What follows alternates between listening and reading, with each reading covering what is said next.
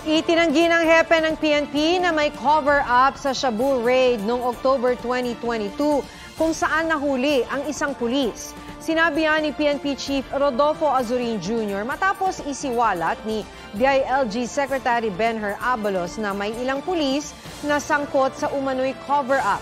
Sabi ni Azurin, siya pa mismo ang bumuo ng Special Investigation Task Group para tutukan ng investigasyon sa drug raid kung saan 990 kilograms ng shabu ang nakuha. Wala rin daw siyang utos na huwag kasuhan ng naarestong pulis na si Police Master Sergeant Rodolfo Mayo Jr. Aprobado niya raw ang hindi natuloy na planong follow-up operation ng PNP Drug Enforcement Group kung saan gagamitin sana si Mayo. Panawagan ni Azurin kay Abalos, kilatising mabuti ang mga tao na posibleng nagbibigay sa kanya ng maling impormasyon.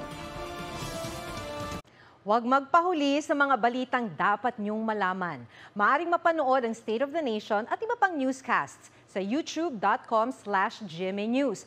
I-click lang ang subscribe button. Sa mga kapuso naman abroad, maaari kaming masubaybayan sa GMA Pinoy TV at www.gmanews.tv.